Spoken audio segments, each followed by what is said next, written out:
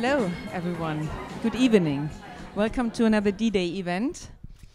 Good that you all found your way here um, to Soho House. And um, yeah, today, next topic. Uh, my name is Andrea Bauer, and uh, this is Boris Moshkovits, and we are the initiators of D-Day. And uh, today we want to talk about the new work order or how uh, the concept of work has changed. And especially if we look at the last two decades, um, we see a great paradigm shift in, um, in uh, the concept of work. Uh, people don't commit their whole lives to one company anymore. Uh, they rather stay with a company or with a job for 13 months than for 30 years. And uh, we see a, a, growing amount of freelancer or so-called knowledge workers uh, who uh, choose flexibility over stability. And technology allows them to do so. And also companies are become more flexible, uh, flexible and more open. Um, searching for talent globally is a common tool, and they are also uh, looking all the time, constantly, for smart tools to manage their on-demand tasks. So we have a lot to talk about, a lot to discuss, and uh, therefore we invited very smart, experienced, and bright, charming panelists.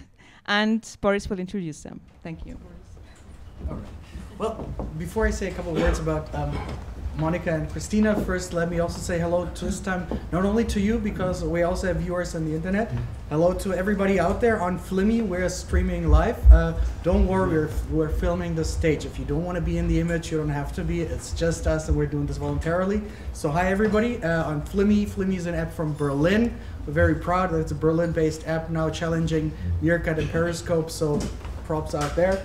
And now, but two very passionate women who have been basically dedicating their uh, recent years to making the lives easier of people who want to work and collaborate and do things differently. And uh, Cristina Riesen, head of, uh, or actually general manager of Evernote for Europe, for the Middle East, for Africa, she's touring all these territories and introducing a very powerful tool and a very interesting tool that gives um, many knowledge workers, and we have to differentiate, and we'll do that uh, during our talk between industrial workers, handy workers, and knowledge workers.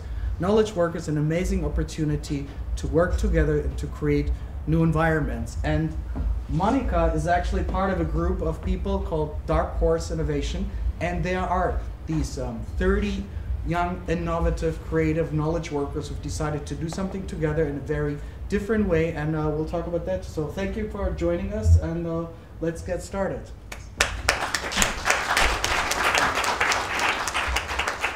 Um, oh, I did it without the microphone, but uh, let's do it with um, maybe. everyone uh, heard you. Um, okay, uh, the first question I would um, direct at uh, Monika because I think that is very unique. Today we were with Cristina at the office of uh, Dark Horse, and we were talking to you and figuring out. Well, that's that's a unique concept. Thirty people starting something, um, no boss, no structures, or maybe there are structures. So I would like to know what was your motivation to do that, and uh, how did it develop in the in the recent years. Sure. Um, so we started out as a group of students. All 30 of us studied uh, together, and after we finished our year, we met at the HPI School of Design Thinking.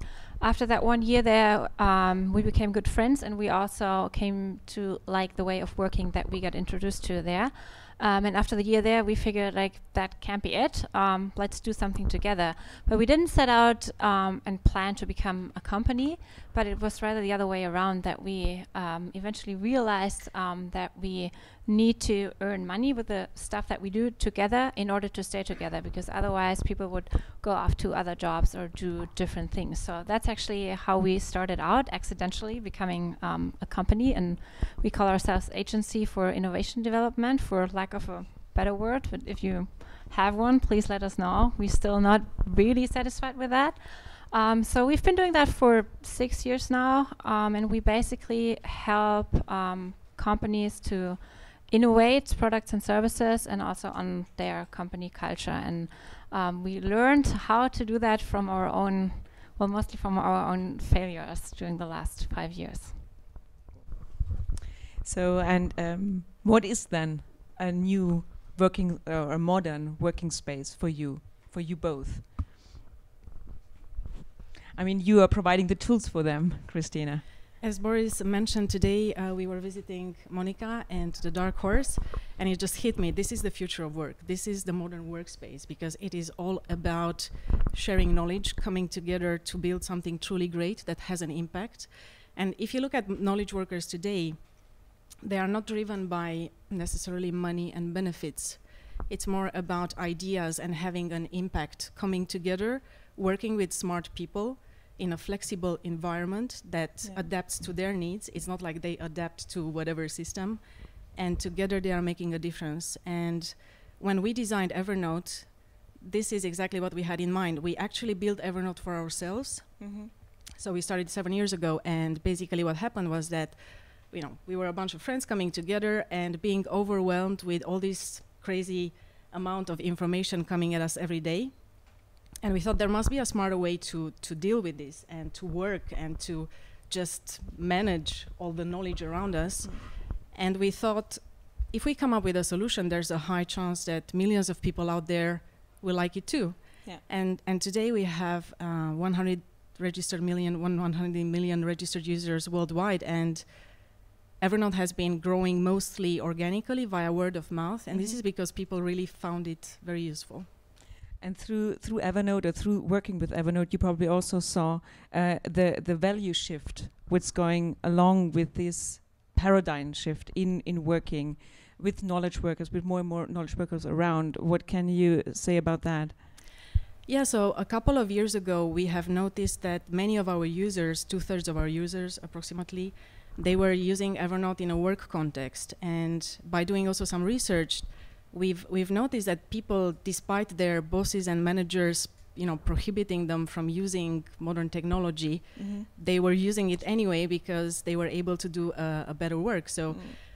At the end of the day, it's it's really a question. Smart companies, I think, who will be successful in the future, they need first of all they need to trust their people you know when you hire somebody you really trust that they are absolutely great at what they are doing yeah trust them, empower them, and then with the right technology, and then get out of their way. Let yeah. them do the thing. You know, it's not like you have to micromanage them and to force them to be sitting at their desk from nine to five. Yeah. And this is something that has to do, I think, also with um, the way we as humans live and work. It's it's not like our brains will necessarily think business from nine to five and afterwards you'll switch your brain and you'll start thinking about hobbies and families and anything else it's really yeah. you know a natural ongoing flow of different ideas and so trust is yeah. a is a very new value in the working surrounding would you say that yeah yeah it's yeah. fundamental yeah. yeah yeah and would you how, how is it then at Dark Horse thank god it's monday yeah, well, trust is one of our fundamental um, working principles, but we also really quickly figured out that it's not a given. Um, we had uh, we were really lucky to start out, out as a group of friends, so we already had an established trust level but it, it's hard work to keep that trust level. So it's not that once you have the trust, then oh yeah, well check that off and, now let's work. Uh, we actually put a lot of work and effort in maintaining um, the trust to each other. And of course, with 30 people um, and no, like Boris already said, no hierarchy, no boss, no one who's making the decisions. Of course, we we fight, um, but at the end of the day, we all know that we fight for a, a good reason and that we don't fight each other, but. Mm um, that we can still keep the trust in each other as a, a person and as a like you said knowledge worker mm-hmm. All right so, so how do you manage let's say the balance between intrinsic and extrinsic motivation. So obviously everybody likes to be paid everybody likes to be valued um, and um, these are things that you experience in your own structure but also as you're working with big corporations and helping them to innovate. Uh, what is the difference between the dynamics uh, in dark horse and the dynamics that you see in corporations that you work with? Um, it basically come do comes down to what you already said. Um, in a lot for a lot of our clients, they still rely very much on the extrinsic motivation, so um, all the classic like bonuses and um, hierarchy levels that you can achieve, and then growing bonuses and so on and so forth. Um, and for us, because we started out in, in, in that startup way, and that's probably the case for most people in startups, at the beginning we had, well, no money at all. Um, but here are 30 young back then very young people um, who really like to work together and do great work without really knowing what that would be. Um, so in the beginning, it was all intrinsic, but um, of course we also have to live, and of course we also want to live a good life. So yes, um, we also need the money, um, and through a lot of um, iterations and a lot of experiences and up and downs, um, I think we now found for for now um, a way to for now balance the two. But that's actually one of our struggles, and it's not set in stone. And this is how we do it. Um, but we keep um, working on that. So how do we compensate um, for time, and how do we compensate for tasks that nobody really likes? Things like that. That's that's what we really have to work on and keep working on. And how does that al goes along with with values like uh, like flexibility and meaning? You also mentioned meaning is a is a, is a definitely a growing uh, value in a new working surrounding. So how does that goes along? Maybe to you, Cristina. Yeah. So. At Evernote, um, in my team, so we are based in Zurich. We are running uh, the EMEA operations out of Zurich. We are 20 people, and you can clearly see that you know the the turnover is very low. Mm-hmm. There are people who have been almost from the very beginning there, and they are still there because they found meaning in what they are doing, mm-hmm. and because they are actually every day having a huge impact on millions of people's lives out there. So this is a, a very strong motivator yeah. in our case. Okay. Um I have a quote uh, on knowledge workers, and because um, when I did the research, I uh, it, it's it's actually not uh, um, it was foreseen that knowledge worker or that they're becoming uh, or that knowledge worker become more and more in our working society. And um, Peter Drucker already said decades ago, the most valuable asset of 21st century institution, whether business or non-business, will be its knowledge workers and the productivity. So um, my question is, how can uh, companies unleash this individual potential of uh, of that knowledge, or also this in innovative potential? I mean, you at Dark Horse, you work with companies and consult them in this topic. Uh, how are they going to deal with that, or do they deal with that? Well, do they deal with that? First qu or second question first. Um, yes, they increasingly do um, because, um, of course, they all read their Druckers and whatnot, management literature. Um, but for now, it's all very much um, theory. But we see that a lot of big corporations right now try to actually um, walk the talk. but of course, it's very hard to break up 40 years or even more of um, structures and, and the way they work. And to us, it, it comes down to more principles instead of fixed rules. Um, and the principles are mainly um, collaboration and iteration. So really experiment, don't have a set strategy or rule and then go for it no matter if the circumstances change and um, what we call user-centeredness. And in a company, the users or one of the set of users are the employees. So really try to see what works um, for your employees at any given moment. But that's something that's very far from corporate reality so far. a couple of years ago, we have launched Evernote Business. And one of the ideas behind business was basically to surface all this hidden information inside organizations. Because even if you're a very small team, it is not humanly possible for you to know what your colleagues know. Mm-hmm. And you're spending some time, you know, a lot of time just uh, starting a project, doing some research, only to find out that somebody sitting like two desks away has been already working on that. And we thought this shouldn't be the case. You know, in order for you to be productive and to be smart and to make the good decisions, you should have great tools. That allow you to have easy access to whatever information is floating around in your company and can be valuable for your goals. Yeah. And then um, another idea behind business was also that we were ourselves frustrated with business software in general, and we were thinking, you know, why should you be punished when you're at work? Because you spend most of your life working. Yeah. You know, just using some lousy technology, yeah. and then you know sometimes you're going back home and you just work on your beautiful whatever Retina display device. Why? It shouldn't be like this. Actually, you should have a great time when you work, and you should have the same user experience, and you should feel like not you know technology is Okay. controlling you or you're forced to use it, but it's doing actually a service. Mm-hmm.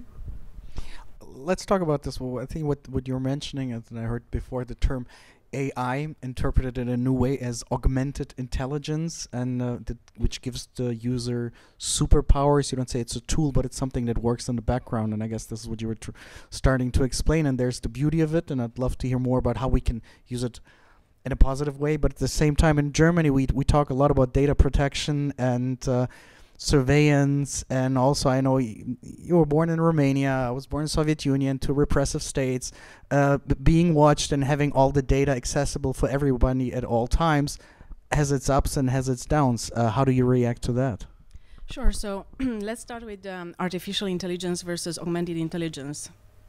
So when we started uh, building Evernote, it was clear for us that the way we perceive technology is, uh, again, like giving you superpowers. So technology is not there to take over you or to think for you. It is there to be a natural extension of your needs, and technology should be there to anticipate what you need in whatever context you're in. So Evernote was thought, you know, and you'll, you'll see augmented intelligence at work whenever you're using Evernote. But basically, you're stepping into a meeting, and if Evernote is connected to your calendar, it will suggest uh, t- a name for the meeting, and it will add whatever relevant information without you having to actually, you know, kind of start searching and freaking out where is that article I've clipped and where is Yeah. your business card and so on. So it was all about automating this kind of um, things that you would need in order for you to focus on what is really important, which is creative thinking, decision making, coming up with new ideas, right? And there was a lot of discussion around, you know, artificial intelligence for a long time now, and and uh, you probably remember also when um, IBM's uh, Deep Blue, um, remember um, the episode with Gary Kasparov, the chess master, um, and Gary Kasparov, he had an epiphany and he realized that actually the future of humanity is not necessarily man versus machine. This is not the right question to ask. Is it man versus machine? It's not. It's actually man and machine working together to make men smarter. And for us, this is really the future. Now, back to the other topic of data security and protection. Again, from the very beginning at Evernote, we made a very clear strategic decision when um, looking at how we want to build our business and how we want to make money. And for us, it was a long term vision to give everybody a second brain, to make the world smarter. And we knew that we couldn't achieve this if we start selling people's data. So from the very beginning, it was very clear for us that we will never monetize on people's data. Mm-hmm. Although you must say it's very appealing because you know short term you can make a lot of money. You know, like if I, I look at what you're saving into Evernote, then I can sell you this product, and you know, Yeah. I can. It's it's really interesting. Only from a marketing perspective for us for Evernote, it would be quite appealing, but we decided not to do so mm-hmm. Because again we are here, and this is why we say we are the 100 year startup because we believe that we can make a difference on the long term and if we want to gain people's trust you cannot play tricks and you cannot Yeah, do absolutely. you know whatever with with their data Yeah. so we we take this very seriously and it's one of our top priorities as you can imagine so in terms of technical security and everything that has to do with it it is really um, one of the focus at evernote constantly Right. And another thing that we were discussing this afternoon was like when you put information into this, um, you on one hand have the opportunity to work in virtual teams, but you also have, if somebody leaves the team, the knowledge stays with the company. Um, again, there's an up and a down, which is great for the company. Um, knowledge is there, but how do you create? And this goes also to to both of you. How do you create loyalty and commitment within this atmosphere of? We already have your knowledge, and uh, we can build on it anyway. So maybe going back to when we've launched Evernote Business, there was a third important idea behind it, which was again, in terms of the user experience. Um, why should you go out of an application to access your personal notes when you can have everything, you know, personal business notes in one place? So we wanted to have this one interface, and you would have your business notes that you're sharing with your colleagues and your company, and your private notes, but easily accessible on the same interface. So you wouldn't have to change anything. And then the moment you would leave um, a company, then all your business notes would stay with that company. Now, this is not done in a sense of controlling you because you can easily copy paste everything into your personal account if you want to, you know, yeah. so it was not done of that. But it was because, uh, again, as a company, especially with uh, people coming and going more and more, you want to make sure that the knowledge is preserved and mm-hmm. whoever is joining the company has easy access to whatever projects have been done before. So this is actually helping a lot companies create this new modern workspace. And loyalty has to do, I think, um, again, with um, believing in, in a mission, you know, in our case at least. It has to do, you can be loyal to a company because you truly believe that you can make a difference and you embrace the vision and, and the goals. But um, as you say, so if, a, if we define a company as the sum of committed workers and uh, um, uh, the sum of the information uh, a company creates. And in a in a sharing society where knowledge and uh, global sources uh, or where, where talents are sourced globally, what is the definition of a company then? How is business going to change, or the yeah, corporate's going to change? Maybe also, I'm, I'm wondering what Monika is thinking sure. about that. Um, well, for us, we decided early on that loyalty isn't something that you can enforce, um, but we created an, an open system. Um, and since we didn't find any um, system in, in the um, corporate world, we used an analogy, um, an another analogy, um, the analogy of monarchies. Mm-hmm. Um, and at Dark Horse, you can choose now once a year at our so called commitment day whether you want to be a monk or a nun for the upcoming year or uh, go on a pilgrimage. Um, so it might sound very um, interesting. Yeah, very so. Have you been on a pilgrimage so far? Pardon? Have you been on a pilgrimage? So I far? am actually right now. Um, okay. Yes, sort of. Um, and you're and here. yes, um, and that's sort of the the central um, premise of it. Um, so as a monk, um, you commit most of your time or some of your time um, to working at Dark Horse, um, and you get sort of um, certain compensation for that, of course. Um, but you can also say, no, in the coming year, I want to um, do, I want to build a house, I want to raise a family or start a family, um, I want to work in another job, and then you are on what we call a pilgrimage, but you're not thrown out of the um, monarchy or out of the company. Um, but in the next year, you can decide whether you want to come back and work as a monk or a nun again, or start or um, continue your pilgrimage. But you're always still part um, of the of Dark Horse um, you can work in a different job, but you're not, uh, you didn't like quit, um, but you're welcome to take your bag of experiences that you had on the pilgrimage and come back. And that's the um, another way of creating loyalty, not by enforcing it, but keeping the doors open and inviting um, people to make different experiences. And actually, for us, we discovered, or for us, that's really important for um, the way of working because if we want to stay innovative, we cannot just close the doors and be with ourselves and not have different experiences. So it can be that you, or it might be then you then also end up being 30 years with Dark Horse and changing companies around? Yeah, Might maybe. Be. We don't know yet, but yeah. So I was wrong in the beginning. Hopefully. Instead of 13 months, maybe also 30 years with with Dark Horse. Yeah, 30 years with Dark Horse and 30 different jobs. Like a maybe. hub. Yeah. Hmm. Not too bad. Yeah. But what do you see when you work? Uh, as I said earlier, you work with big corporations. The project I know with Audi, where you are also trying to help them innovate, get the teams uh, out of their regular thinking patterns. Um, are they open to these kind of, uh, let's say, structures? Uh, what we see a lot is that the the C level is very open to that, um, and also on the team level, so where the actual work gets done.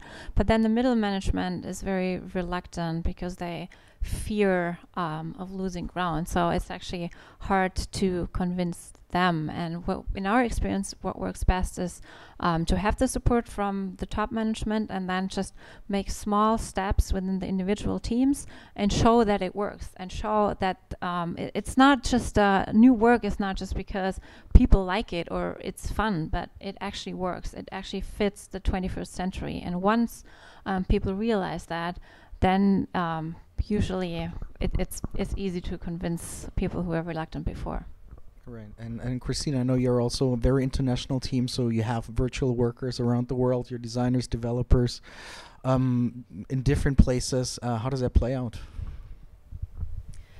Again, going back to what you were saying before, you don't, you should not assume that it will just happen. You know, like building this company culture and and keeping people together will not just be there. You have to take steps and you have to work really hard to make it happen and it's all about team building you know? So it's all about making sure that you're encouraging differences of opinion first of all. And this is something that in Zurich we are doing a lot because we are a bunch of very different people different nationalities different backgrounds.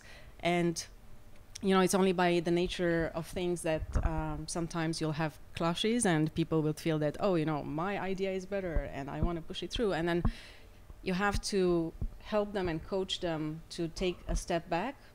And first of all realize that it's great to have differences of opinion because if you're um, falling into this groupthink kind of environment where everybody loves each other and they agree with each other not much will come out of it long term at least. But then find a way to express those and, and to focus your energy into finding solutions to challenges because we have many challenges. So don't direct that against each other, but use that energy to find new creative ways to solve problems. And it's a, it's an intensive process, and I think this is the new kind of leadership needed, especially for the mid-level, mm. as you were saying. So we, in our experience, true empowerment does not come from be making um, being part of making decisions but also deciding on how to make decisions so um, deciding on the sort of governance that a team or a company has and that's of course the the highest level. But once teams are enabled to decide upon their own governance, then you have true empowerment and people are really passionate uh, about their work and really involved. And you see that in the results uh, of those teams. I was wondering how do what do you think about um, the uh, collaboration versus um, competition, and um, so in your working routine as well as uh, in maybe also translating to features i don't know. Everyone is of course supporting or it's more more charming to say collaboration is better but uh, also competition has also its potential to innovate of course. Mm -hmm. so what do you think about that? Yeah, it's a good question. Um, at evernote our philosophy of life is around collaboration and we do not actually believe in competition and this is not in an arrogant way but we believe that you know life is not a sportive game where in order for us to win somebody else has to lose it's more like you know playing an orchestra where you have different people playing mm-hmm. the same instruments but together you're doing something amazing mm-hmm. and this has played well for us when you look at all our partners because you know people ask about our competitors and then we say but look at our partners they are apple and google and microsoft yeah. and moleskine and others and this was only possible because we had this approach and we thought that why should we even waste time you know looking at the competition or mm-hmm. trying to figure out how can we come up with something that will turn whatever into something else um, why not focus our energy to talk to those companies and together try to come up with something truly great mm-hmm.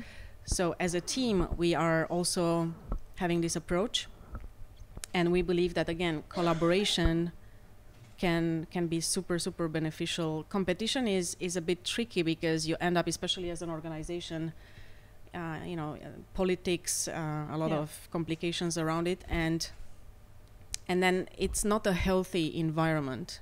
Okay. I think having this kind of flat structure, empowering people, and really fine tuning every day, saying how can we do better and how can we make sure that people really feel empowered and responsible yeah. for what they are doing um, is really key for us at least. Yeah. this is our experience. You see it as well? Um, yeah I, I can second that. We um, it's hard for us to compete against each other within our work because we are from so many different disciplines. So um, my background is in writing so I cannot compete with my colleague who is an engineer. It just doesn't make sense. But mm-hmm. we also realized um, that we sometimes lack that element um, and so we introduced it in lots of playful elements, and that also comes back to establishing the culture of trust. Um, so we have sort of like an internal games league, and of course we have the foosball and and that sort of stuff. And we do spend time on that and mindful time on that to um, have that sort of playful competition because for us it, it didn't work out without that element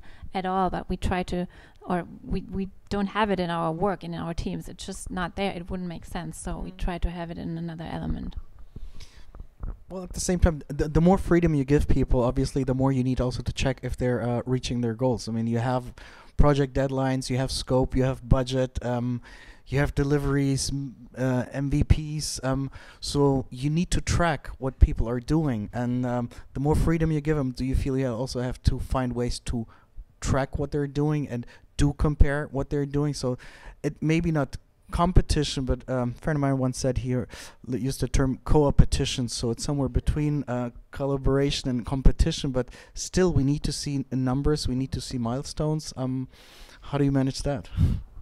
Well, we don't. Um, we actually we don't manage that. So um, as you said before, we really don't have a boss. There's no management level, nobody who controls what everybody else does, but we do it ourselves. So when we start out a project, the project team is responsible for everything, for budget, for planning, for just everything. And if you're not in time, if you're not in budget, it comes back to you as a team. Um, but of course, also it comes back to the whole company. Um, and yes, mistakes have been made, many of them. Um, and we realized, coming back to uh, sharing knowledge, um, if we don't share what doesn't work, um, then we can talk as much as we want about trust. Um, then it, it doesn't work. So uh, we actually put um, we actually emphasize that, and we have an um, internal fail award that we give out regularly. and you it, can get the fail award, uh, you can only nominate yourself. Um, so it's not a blame game, but you have to step up and say, okay, um, guys, friends, listen, I did this and that, and I won't share um, those fails here because it's it's also just closed. It's a secret or a closed environment. Um, but by sharing also what didn't work, um, we can learn from each other and hopefully not make the same mistake again. And those afternoons or those days are, are a lot of fun as well. So it helps to um, share what didn't work. But it's it's also it's hard. So it ha- you have to have the culture of trust. So it's it's, so it's sort of a circle. Um, you have to share your failures to get the culture, but you need the culture to be able to share the failures. And with Evernote, I mean, ha- you have probably also a very decentralized structure, having the developers uh, on another place than the marketing guys. Do you track that in any kind? The so results? Yeah, of course. No, we do. And what happens is that basically it starts with how and who you're hiring. Yeah. You know, so hiring the right people, people who are self starters, and from the very beginning, you know that you own your topic. Like mm. you're there because you're great at what you're doing, and you are supposed to figure out whatever there is uh, in order to contribute to to us all yeah. reaching our goals. I think it's super important and critical to first of all define goals as a company. And sometimes you you see a lot of uh, companies and, and, and because it's tough, it's not easy, right? Define realistic, aspirational also goals. And the way to track it afterwards is in our case, depending on the on the department, I can give the example of my team in Zurich. Is um, we have team meetings and we come together. It's really like stand-up meetings. We see where we are. We check, you know, where we mm-hmm. are, what's needed, what can we do better, and then everybody's doing their thing. We come together in another week, and we kind of see again where we are, and we fine-tune from one week to the other. But again, it's not like because I'm the general manager, I'm sitting there yeah. and you know everybody has to report to me what they have been doing and how it's going because it's not working like this again it's a team coming together everybody owning their topic yeah us all interacting in a way as to figure out independently of you're working in sales or marketing it doesn't matter. If it comes to whatever question related to user experience we want everybody's opinion and of course you'll have one person or a team executing on that. But it's kind of involving the team um, and and everybody knows that it's our goals. It's not the sales or the developers or the marketing team yeah. goals so really uh, being part of the same boat. And then I think um, in our case, we, we've done a lot of, um, we've taken a lot of steps into making sure that we ban just bureaucracy in general. And we have these very explicit rules against you know, for example, stupid meetings. Now, a stupid meeting, what is a stupid meeting? A stupid meeting is the one where you come in, you don't know what's happening, you stay there, you write three emails, you send a message on WhatsApp, and then you leave the meeting and you have no idea what's going to happen afterwards, you know? So the, the way we look at it is we say whenever you're putting or you're kind of booking time on somebody's calendar, keep in mind that you're taking one hour away of that person's life. So it's a huge responsibility and don't mess with it. Like think very well, is that meeting really needed? Can you solve it otherwise?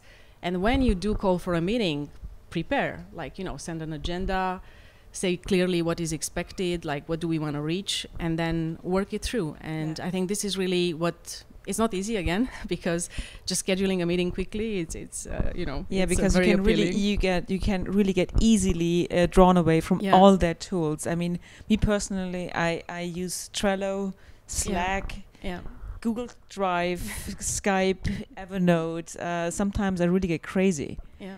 Uh, so uh, yeah, it's it's not that easy to really dive through all this this tool. What would Mm. you recommend to a knowledge maker than me? How can you make my life easier? it's a personal choice. I think you know it's it's a curse and a blessing at the same Yeah. time because you can look at all this uh, variety of tools as a blessing because you can actually select and customize. You know, so you can you can create your own Swiss knife kind of solution, and you have the, you know depending on what you want to work on, you'll have different tools.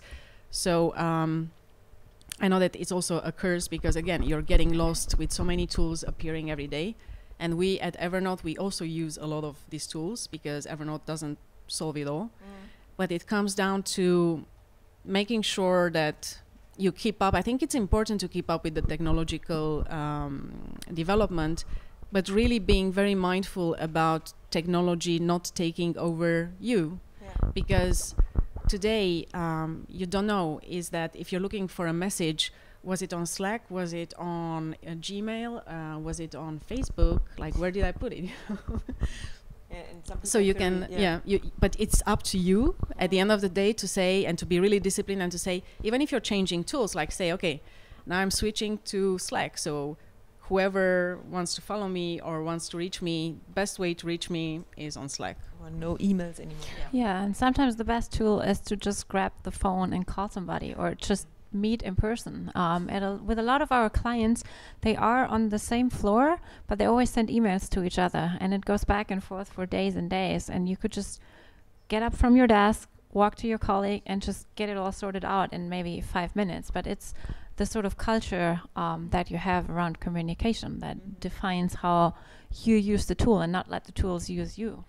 Right. At the same time, organizing all these tools um, costs time, as you said. And then the question is if we're moving from exploitation to self exploitation, meaning we do end up working more because we do have the goals and we're all of these freelancers, knowledge workers, and we sit at home, we sit in the park, but at the end, what we do is we still use the laptop, the, uh, the tablet, or a smartphone to continuously communicate. So, in Germany, um, uh, work-life balance is an issue. P- people do talk about, oh, what do I do in my free time, and there's a differentiation. And um, I know in the United States, I like to um, have not such a distinct um, difference. But how do you deal with that, and um, how do you enable people to actually do have a better life, uh, uh, work balance, or is that something you aspire at all?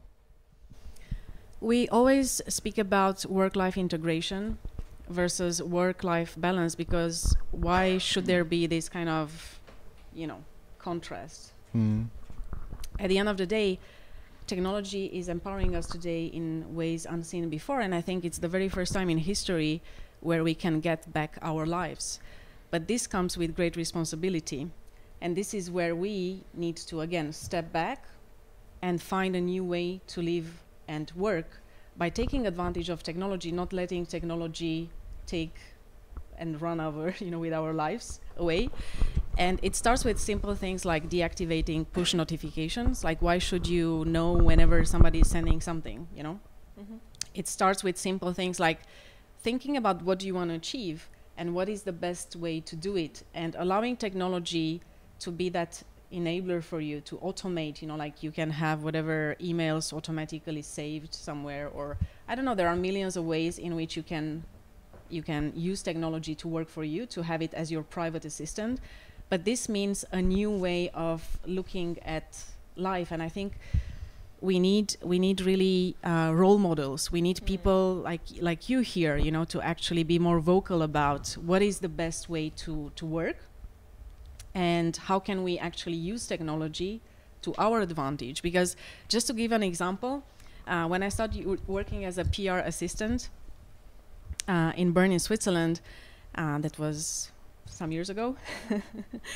Uh, what would happen? Uh, and I had a, a, very small kid back then, so um, now she's she's almost uh, 15, so it's it's much different.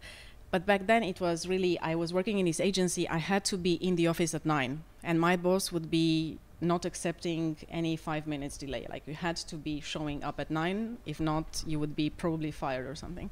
So rushing through the traffic with a kid because you know I had to go to the kindergarten. Sometimes it would be just almost impossible, stressed out completely when I I would arrive at work because of all you know trying to figure out how to get at work on time and so on at work um, back then as a PR assistant, first thing you would do, you would take literally a pair of scissors and you would start cutting out articles from newspapers, depending on the client you would have, and then you will clip them into this huge uh, folder. Yeah. And then your boss would ask, okay, could you please find me that article with the CEO from three years ago?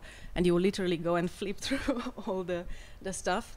Thank God. and, and then and then you realize, you know, like for what? Because today if I would be um, a PR assistant, my life would be much easier and I could actually focus on more meaningful things. And I think this is where technology is helping us really really in a good way because you can you can spend more time focusing on improving your skills learning and doing something that has to do with creative thinking rather than just repetitive tasks I think a lot of it comes back to user centeredness or again um, because uh, often corporations take the one for all approach and then the emailing is switched off at I don't know 5 p.m. Um, but for me, for example, I have a baby at home as well, and I send emails out to my colleagues and also to clients at 11 p.m. Um, but they all know um, that they don't have to reply at 11:05 p.m. Um, they know that I do it because at night um, I I can sit at my desk and actually get the work done, um, and that I won't reply at 9 a.m. Uh, because that's when I'm busy. Uh, so they know that yes, I do reply, but they have to wait for it. And if the emailing would be switched off at 5 p.m. It would be a disaster. I couldn't work anymore. Um, so the solutions um, that are taken care of by some um, well-meaning corporation for all their employees, sometimes uh, they are not so great for all of their employees, and that's I think a mistake that gets um, made, especially in Germany, um, very often. I was just thinking if there if there's the risk of a digital divide between workers. So because one uh, the one person knows how to use the tools uh, or knows how to to deal with uh, uh, yeah communication technology, the others don't. So how we're going to overcome this gap? Can we? There's certainly this issue, but I think depending on on the industry you're in and if you're looking at uh, adoption of technology, it's kind of, you know, happening organically after some time. If a tool is becoming popular, more and more people will pay attention, and you have the power of the crowd again. You have, whenever something is becoming popular, a lot of forums and discussions, and people are being vocal about how that specific tool is helping their lives. Um, sometimes tool just like with Slack in our case, you know, everybody suddenly from one day to the other, everybody was using Slack. So you know, it was like, okay, we have to give it a try and see what's uh, what's it all about. And sometimes it's easy because it's really like in the case of uh, I don't know something like Facebook or others, uh, Instagram. It's very easy to get. Yeah. With tools like Evernote, it's a bit more tricky because it's rather complex, and you would not get in five minutes what you can actually do with it. So it requires you taking time, reading some articles, getting maybe you know making your experience for a couple of times. So it is an investment, and there is a risk that actually you're missing out on tools just because it's not so easy to adopt them. And this is where I think we as companies and we as Evernote, we need to do a better job in making that user experience, especially at first launch, better. because we, we haven't been that great actually. But at the same time, the tools uh, won't solve it because we see that with a lot of clients as well. That oh, here's this new technology or this new tool, implemented and then check done. And that's like you said, that doesn't work. Uh, you actually have to enable people to use whatever new tool you create. Um, and also, if yeah. you yeah, and also if you just always implement whatever's newest on the market, you'll always be behind because you need to have employees or um, students. We talked a- about education before as well. Students who are prepared for what what will there be next and not what's there now. Um, and that's a, a big mistake, I think, uh, that a lot of companies and that the education system as a whole currently is making. I mean, basically, when you hire now, you have to. It used to be you need to to be able to manage Office products. Um, so now you have okay, you have Microsoft products, 365, all in the cloud. Then you have Google Apps. Um, then you have Evernote. You have all these different tools. And I was talking today to an agency that is promoting Google Apps for corporations, and say in the end they have it all installed, but only a few people actually know how to use it. It's like driving in a Ferrari in the first uh, gear. This is um, you have everything available, you just don't know how to use it. So how do you deal with that when recruiting and people, as we said earlier, don't stay with companies that long? So you invest in these people, you teach them, and then you move on, and then you have the next generation that you need to cheat, teach. And as we said, a school system are also not preparing you for this. So In our case, I guess we are lucky because we developed this tool that you know kind of retains knowledge. So independently of how people are coming and leaving, and we are seeing this as the new normal, you know. So it doesn't, it's not shocking if people would come and would stay for only a couple of months and then move on. But what we want to make sure is that first of all, the time they spend with Evernote is um, a great experience for them, and they are learning. Because if they are happy and they are learning, then you know in those uh, few months they are with the company, they would contribute significantly. So we try first of all to create this kind of infrastructure that allows for this very, you know, rapidly shifting workforce, which again is not necessarily the case. So we have like in Zurich, for example, and and also in other uh, cities around the world, people have been staying with Evernote for quite some time now.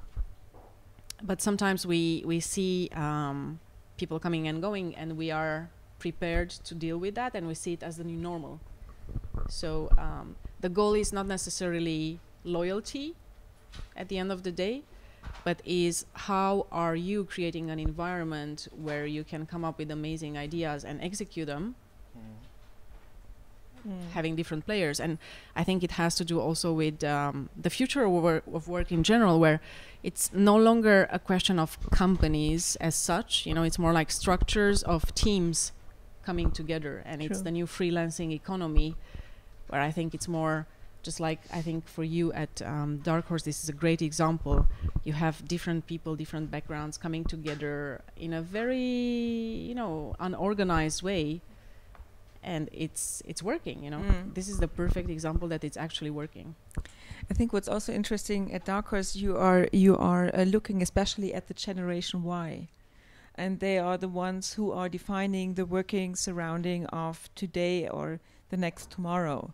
And um, I was wondering because they also get described as the Peter Pan uh, generation, so they're jumping around, the selfie generation, and come and go. Um, how how do they define the working surrounding and uh, what's the what's the difference to the Generation X?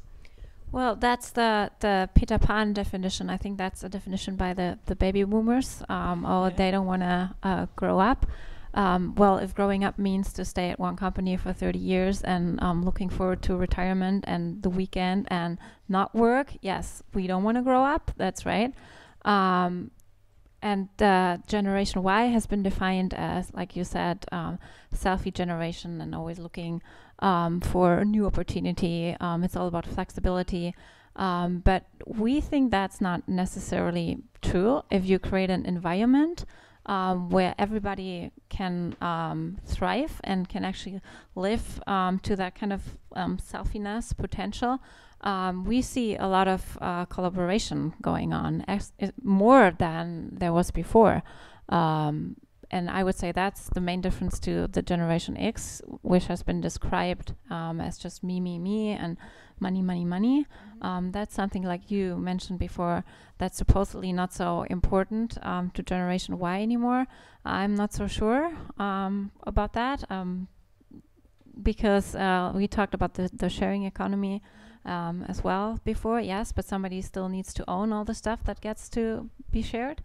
Um, so the digital um, digital digitalization enables us to live the lifestyle of the baby boomers and of Generation X without having to own all that. But the lifestyle is still um, pretty much um, attractive to a lot of us. And what we see um, with our clients, or what we actually um, know from five years of experience working in changing organizations, is that Generation Y is actually not so it's very much of an artifact uh, because a lot people of all ages and of all backgrounds want to enjoy their work. They just have been taught for 30 years that it's not possible. That fun is on the weekend and fun is um, when you're retired. But it's not a generational thing. It's just that generation Y uh, is not like we don't take that anymore. We don't uh, want to work in an environment that doesn't fit us. That that doesn't fit our needs, that's not fun. So I think that's the difference that we are in a position to actually ask for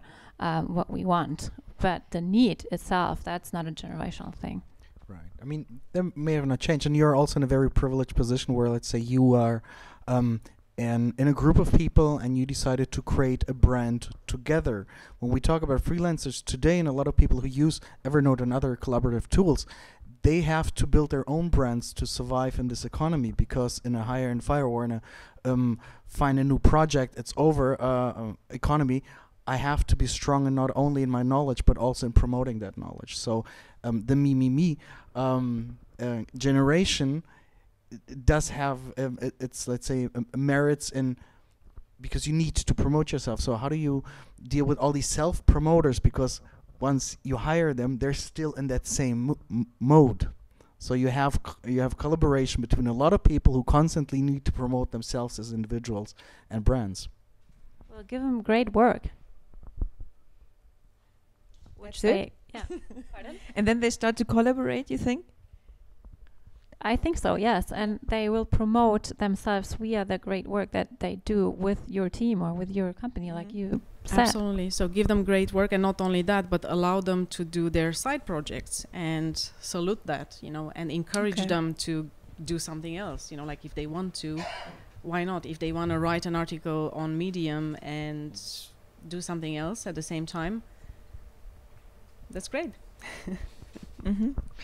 Okay, I'm just curious because let's say in the when YouTube started, we saw a lot of people having a lot of opinions, and, and these videos did have some, actually some some strength and some curiosity. And um, it, when you look at YouNow today, which is a new channel live streaming, and you hear all these voices, uh, you realize it's all about self promotion and with a lack of content. So we're looking at the next generation of only promoting, where there's not even the, the, the expertise that they're promoting, but just themselves as whatever. A brand. Mm. Yeah.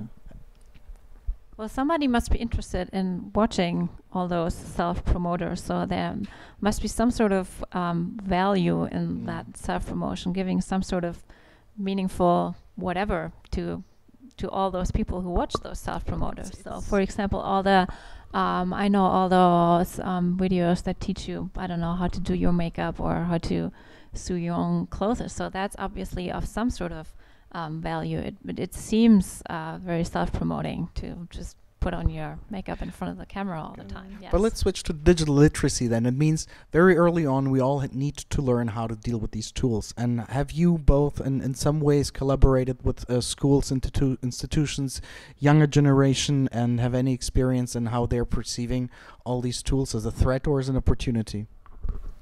Evernote is very much used by students and different schools, universities around the world, and what is really great, I wish I had Evernote when I was in school because what it does, it allows you to take the knowledge with you as you grow. Uh, when I was at the university, we we still, you know, were writing everything on paper, and when I moved out, my parents decided that what's that bunch of crap, you know, like let's throw it out. and Gone. then everything was gone from one day to the other nothing. So even if i would like to go back and i don't know you know i had old english for god's sake uh, as a topic at university. I don't remember anything like literally nothing. It's completely tabula rasa. So there is no way i can go back to that. Whereas today with tools like evernote and others you can grow and you can take the knowledge with you. And, and this is extremely powerful um, it's also very powerful in terms of teachers interacting with you on uh, on a more customized level and also with the parents because it happens that there's a, a lot to improve on the just school parents communication side as well.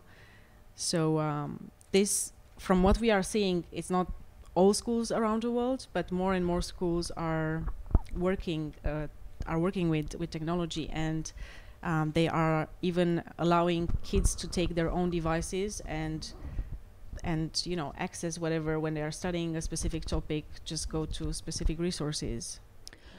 I think what is really important is to teach um, kids and also um, adults not to use a specific technology, but to live in a technical or digital um, society and to understand um, what digitalization does with the way that we collaborate and um, the way that we work and the way that we learn. But that's something different than um, having a tool and understand how to use it. It means understanding why that tool exists and how people use it and um, being able to maybe create the next tool. Um, and yes, uh, you need some sort of technology for that. And yes, in German school, um, technology doesn't from what I know, in most schools, technology doesn't very much exist at all. Um, and yes, that's probably good if that changes.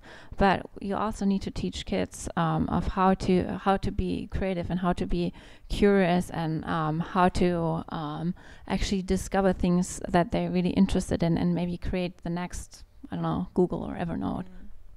yeah this is a great point because when you look at education there's so much that needs to be done because we are we are basically you know preparing kids for a future that will not really be there. You know we are we are teaching them based on an old model and it's not up to to speed to what is happening today. So we should go back and encourage creativity. I think creativity and everything that has to do with artistic performance and and everything that has been seen as not worthy of you know school in Yeah. general. Design thinking. design thinking For should be i think design thinking should be now part of really uh, primary school if possible you know Mhm. on a normal um, on a very very um, you know kind of basic level because if you think about technology and humans in the future what is the biggest differentiator right it's really creative thinking this is what technology is not necessarily able to do for Mhm. uh, you know it's not able to come up with creative solutions um, it will not be able to have the dexterity human has you you cannot have a robot walk through a room and bring you a glass of wine without um, tripping or something. So um, this is what makes us really special and powerful. And again we are unfortunately still victims of this legacy of the post-industrial era where Mhm. education had to prepare this workforce for you know coming under one roof and and being controlled and giving the output needed but this is no longer the case and i think again we should stop killing creativity in schools because this is still happening and this is really very sad. So it's not so much a question of technology and empowering kids with technology it's more a question of rethinking education and school and teaching kids that you know it's no longer a question of just going to the right school and then you'll get a job and then you'll be happily employed until you're going and, and retire. because this is no longer the case. And what what is making the the difference today is the the variety of skills of things you learn things you've experienced and also coming together and having the possibility to to have an opinion and to Yeah. express it and to interact with others in a smart way Just looking at the at the time. Yeah, I think we we'll, we'll open it up to, to the, The, audience the and, final. in, in one second, and I have uh, maybe one one more question because what, what you're saying is, and, and maybe that's to you just because not everybody is familiar with, with design thinking, and then when you, when you say uh, it should be um, taught in a primary primary school, um, I think Picasso said once, "Everyone is born an artist." Um, so is design thinking uh, reawakening this uh, inner child? Um, it can be. Design thinking is a way um, of working together and creating um, products and services that um, really help people or that are really desired by people. And if it's done or if it's understood in the right way, it can open up uh, people's potential. Um, but what we see very often is that it's just another set of tool, um, just um, a new method, and try it out once, and oh, it doesn't really work. Um, surprise, surprise. Um, so the way we understand it is um, actually as a, a, culture and as a set of values, and uh, that incorporates the designed mindset um, and uses that to uh, work on projects. And then it can actually work. Cool, thank you. So, any questions from uh, the audience? Um, anybody would like to know more? Um, do we have a microphone actually? I have one. Um, please stand up and speak loud, or come here and we'll give you a mic. Uh, I have one question to Monika and one question to Cristina. Uh, Monika, I would be curious, um, how do you actually organize the internal body of knowledge at Evernote? And most importantly, how do you make tacit knowledge explicit and shared between your workers? Mm-hmm, mm-hmm. Well, we were lucky enough to develop the tool ourselves, so it's. Uh, but sometimes it's it's true that you know it's it's complex because just when think about tags, just to give an example, if everybody starts coming up with tags, then you end up having trillions of tags floating around, and you you cannot find anything. So it needs some some discipline. So sharing knowledge um, has to do again with finding some structure. First of all, agreeing upfront on how do we want to structure our notebooks as Evernote, you know, because everybody has a tendency to just create notes and notebooks and add everything everywhere. But um, as a company, if you really want to be efficient, you have to have a structure. And you have to spend a lot of time from the very beginning agreeing and making sure everybody really is on the same page when it comes to how do we, for example, use tags, how do we want to create notebooks, and who has access to what. And the guiding uh, principle is for us less is more. Like, don't create uh, one million uh, notes and notebooks just make it really very easy and simple to, to get and to understand. Does it answer your question? Yeah, I was wondering, uh, I was sure that you use your own tool, but what was what is happening in the groups uh, before, let's say, next to the individual note taking? Is there also a group process really um, uh, share all, all of your practical knowledge? Because you mentioned if, if workers leave, you have everything documented. And you can share it uh, immediately? Yeah. So the way it works is in the business so-called library, you would have these different notebooks, and they are uh, having one owner, the administrator of the business library. Independently of whoever is joining or leaving, those notebooks will stay the same. You know, so everything that one person is saving into that note will stay there, independently of that person coming or going. And if you come up with the right structure from the very beginning and you say, you know, you have like an HR notebook where everything related to HR issues stays in there, then you have something related to international marketing, and you know that everything related to international marketing will be found there. It doesn't really matter who's coming on or who's contributing because you'll know that this is the place where you'll find everything that is really important to that topic. And we have also for um, for bigger companies already in our case is quite useful. It's the expert um, kind of showing up whenever you're looking for a topic. Evernote will indicate who is that person inside the company who really knows everything about that topic. And that helps because you know if you don't really find what you need, then you can actually you know who to contact and you know exactly uh, who who may be helping you then. Thank you.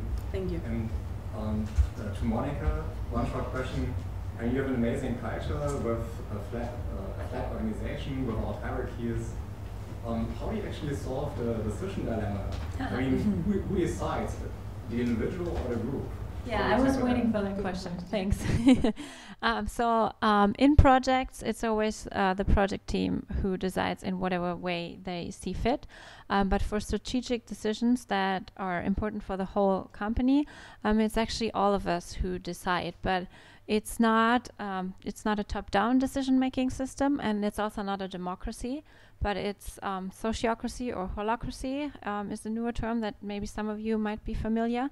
Um, and the difference is that not the number of opinion counts, um, but the strength of opinions. Um, so the way that it really works is that we sit together um, and somebody brings up um, a certain decision. So um, that's the first difference, maybe, that you just don't start off with a random topic, but you always have a decision as the, the basis, basically. and then there's a, fir- this gets very technical, so there's the first round of information. Does everybody know everything to really take the decision? then everybody's heard, and then we actually take the decision, and the decision is taken if nobody is against it. So, um, in essence, everybody, every one of us has a, a veto right, um, but you have to think about it um, as an emergency brake. Uh, so you only use it when you think we as a company we can really we can't do that. Um, I have to get off the train if we if we take that decision. Um, and that's, of course, something that you have to train a little bit. Is it really, really that important for me personally, or is it just something that I think like, ah, oh, I don't really like it, but let's just go for it. Um, and over time, you develop sort of a, a, feeling for your personal limits. But if somebody draws that veto card, uh, we just don't take the decision. But just with the emergency brake, you get punished for that. You have to sit down with the person or the persons who um, had the who initially um, brought in the decision and figure out a new solution and come back to the meeting next week or next day. Um, yeah, so you talked about flexibility, and when you have flexibility, it brings a choice, and choice means freedom, but it's usually what I feel is that the more choice you have, the more it paralyzes you, and at some point, especially technology, you have so much to choose that you go back to pen and paper because it kind of gives you back to basic and gives you some sort of like feeling for what you uh, you do. And I'm Generation Y, and I kind of feel that you talk about education as well, that you can do whatever you want, you invest inside the project. There's no like destined path for it, and it's the same problem that you are flooded with information and you can't decide. So how do you feel that's going to change in the future, and how can you, I don't know, make decisions in a world where you're just overwhelmed with the amount of choice you? Mm-hmm. Yeah, that's a very good point. Now, back to pen and paper, this is really funny because, you know, a couple of years ago, many people were saying, you know, Evernote biggest competitor is Post-it because, you know, people take notes on Post-its and uh, Moleskines and such. And for us, it was, why? no, this is not really the case because we are very humble about we, we look at our users and we don't want to kill paper in any way. You know, on the contrary, it's like if you're using pen and paper, we want to figure out a way to support that. And we've had these partnerships we've launched with Post-it and with Moleskine that help you if you want to give a digital life to to your physical iconic objects, then you have the possibility to do so. And it goes back to this need of us finding the new way of living and working. You know, so it's not easy. Who said it's going to be easy? But um, this is the beauty of the situation we have right now. We have so many possibilities. It, it's a luxury situation at the end of the day because you know it's a good problem to have just to be able to choose. But it goes back to spending time with yourself, which is not easy, and really looking at what are you trying to do with your life. Like, what are you trying to do here? What is your goal? And how can you use whatever resources you see around you? And it can be technology but it can be people you know networks people who can support you grow. Things that you can learn that can be in various shapes and forms but it has to do with us learning to be more mindful and more honest with ourselves and not just take life for granted and saying oh you know i'm going to just do my thing every day get a job and try to be you know getting my salary and there are so many uh, so many unhappy people doing this. And for the very first time we have actually the possibility to change this. And you don't have to be unhappy for the rest of your life but it is not easy. You have to be first of all learning to listen to yourself and to also realize that it's absolutely okay to change to have different goals as you grow to see life in different ways. And try to adapt at each step you're taking, trying to look around you and see what can help me grow. Is it technology? Is it people? Is it learning something new? Is it trying something new? It is not the easiest path, but I think it's what brings, at the end of the day, the most meaning to, to our lives. Yes, the Yeah. pain of freedom. it's always the pain of choice. Um, my question is very simple. Um, could you give a number to your work hour per week? How many hours do you work per week? Can, can you put a number on it? Um, right now, um, this week I'm working. What time is it? Um, about maybe five hours. I'm on um, maternal leave right now. Um, but before, it's actually for me hard to pin down. It depends. Uh, weeks are very different. Um, so some weeks, if I had to be honest, I would have to say 70 hours, and some weeks would be. And I'm not talking about vacation. Some weeks would be 15 hours. So it really there's no weekly amount that's yeah there's no normal week for me I personally don't count, and this is not to say that I work too much, but it's because I I don't look at it anymore like working. You know, it's my life, and I really really love what I'm doing. I really love the job I'm in and uh, the time I spend with people, and I try to make those decisions with my life that allow me again to find meaning, and this means that sometimes you have to say no, and learning to say no again is not easy. But um, at the end of the day, if you see life as a series of events that again help you reach reach your goals, your personal goals, um, you'll have the possibility to find a better way of dealing with everything. And in my case, I think I'm fortunate enough to work for for Evernote, and they are totally okay with me deciding on where I want to be, how, and you know, there there are no restrictions in terms of how I should structure my day or where I should be. And I have I have um, also two kids, so um, I think for for the very first time again I found the kind of the magic recipe that allows me to really be part of something that is truly great where I can clearly see I'm learning a lot I am developing myself I'm part of a great group of people um, and being able also to be there for my kids when when it's needed and um, you know finding the meaning to my life. I really feel that um, this is again has to do with those decisions you have to take on daily basis. And also i think when you have kids you have to also realize that you cannot make everybody happy you know? So at one point in time somebody will be unhappy your team or, or your kids because you'll say no on, on or yourself you know? So you kind of have to live with that as well. And and um, accept the fact that you're not perfect and this is not the idea. But um, what drives you and in my case it's all about learning and being with people and learning from from people and having these interactions um, continuously challenging in the sense of um, you know why shouldn't you start learning finance one day? Because why shouldn't you you know? Um, having the possibility to do so gives you a, a better i think a better meaning uh, in life in general. And for the very first time I found time to to meditate and and to be more more mindful and and to exercise. And you know this wouldn't have been possible like 5 years ago because back then I was way too much under pressure but pressure especially not only by by the company I was working for or myself but it was just you feel like you know there's this pressure you have to reply to every email and you have to be very reactive and you have to make your your way through and so on and so forth. And then um, suddenly you realize that why? You, you shouldn't be as reactive.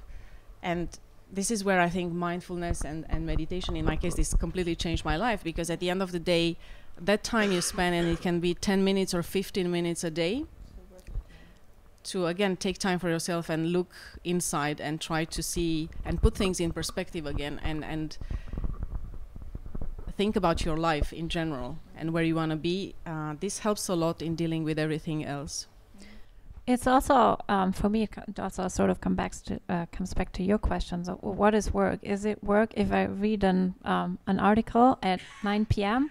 Is it work if I discuss um, their project with my colleagues that I have nothing to do with? Um, that doesn't feel like work to me, but um, it might be if my role is a I don't know a social media manager. That might actually be part of my work. So um, usually um, there's a tendency to define work as stuff that you don't like to do, and I think that's really the most the the worst definition that you can um, get of work. And our aim is um, to not have work or not make work the worst part of your day or of your week. And then it's like you said, it's hard to say how much do you work if you actually really like what you do. Is that work then? That was also big the topic of your book because uh, it's lying here, Yeah. no one shows it. So this is the advertisement. So thank God it's Monday means you really like to go to work on Mondays, right? That was it. Yes, so we don't always like all of the stuff um, that we do. Of course, we also have to do expenses, and we also um, have to deal with a lot of um, I don't know emails that we don't really like to deal with at that given moment. Um, but we realize that um, having fun all the time is not. Um, that's not what it's all about. Um, it's not that you really are super happy and enjoy what you do 24/7, but it's uh, it's about the bigger the purpose and the meaning. And um, yes, uh, Monday morning um, is not the worst time of the week. Um, there might be tasks that we don't enjoy, but work uh, we we like our work and we don't threat uh, Mondays. So that's sort of the aim that we have at Dark Horse. Great. Do we have any more questions from the audience? I think. Hi. Uh, I'm from Mova. I lead the People Partnership Team at SoundCloud, and I'm following all the developments at Zappos with uh. So I'm curious to hear from you working in that setup. Like, how scalable do you think it is? If you were giving that example of the decision making, at one point in growth, there will be some tension, right? That view. Uh, yeah, that's actually uh, one of the questions that are we are dealing at uh, with at Dark right now, um, and it is scalable, um, but in a different way. Um, so you have to think of individual sort of cells or individual teams um, who are just combined by a single mission or vision or um, just uh, a single brand, uh, but who are not uh, centralized. Um, so that's a different way, a mode um, of scaling. Um, if you bring 150 people in one room, that sort of decision making would take on forever. But we realized that there are actually very, very few decisions that need to be everybody. Not everybody needs to be involved in every decision. Not everybody is interested in um, every decision. So the way of scaling is actually very often in our experience scaling it down. Does that answer your question at all? Yeah, absolutely. I'm also Okay. curious to hear what your personal view is on the on the switch that Zappos made, coming from a different model and moving to it. Like, how are you following that? Assuming that you're following it. That is my philosophy. Can you say that again? Sorry. So Zappos.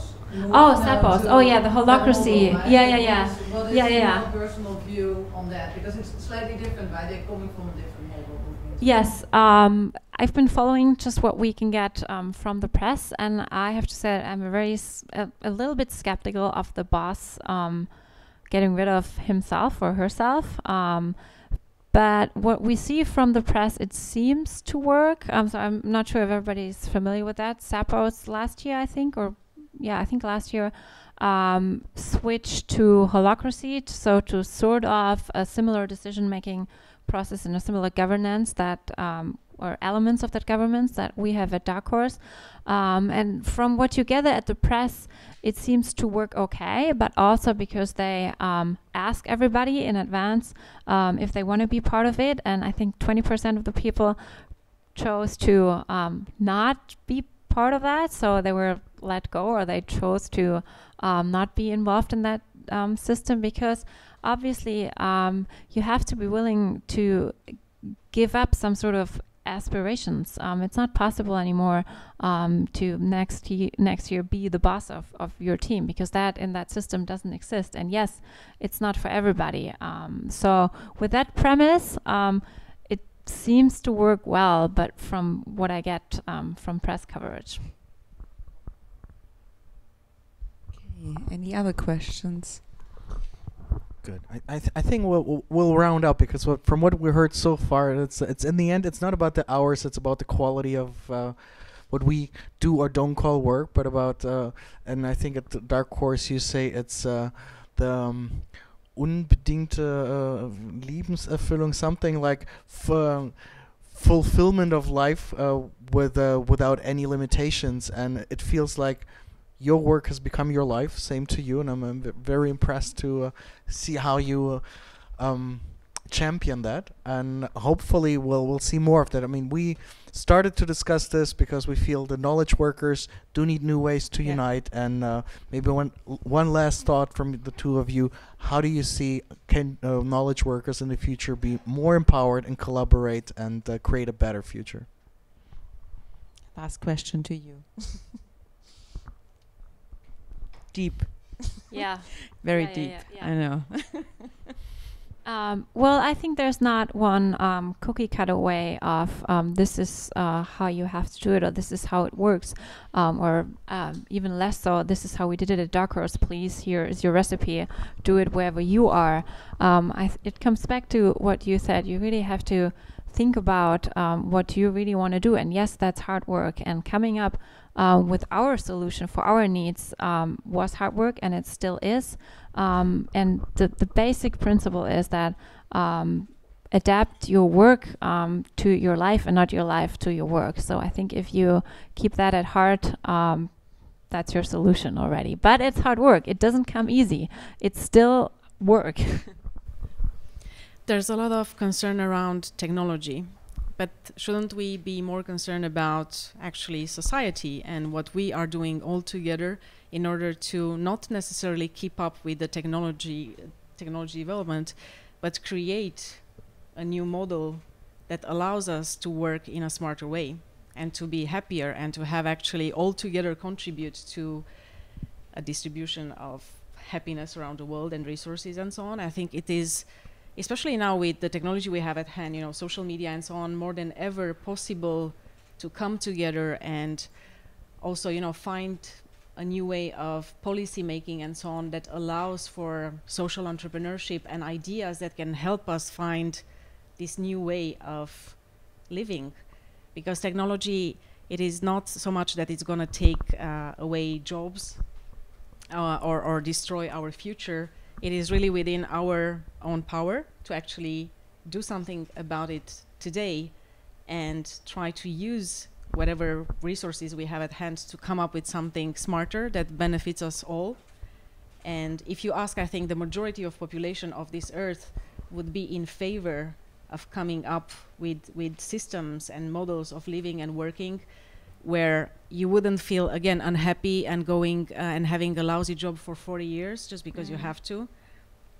Together with uh, you know like having this um, new smart leadership you can figure way um, you can figure out ways in which technology can create new jobs that can benefit us all. But it requires a lot of effort and it requires us coming together and discussing and figuring out and it's not easy the easiest part is just to outsource to technology and say hey let technology do everything and we we, we just sit down and uh, relax you know? So i think it's really important that again also events like this one it's it's really inspiring and i look forward to to talking to you afterwards because it's important for us to voice concerns and it's equally important to also challenge what we have today and ask ourselves can we do better Mhm. can we live smarter Mhm. because we do have the power to change things Very good. Great. Thank you for the roundup.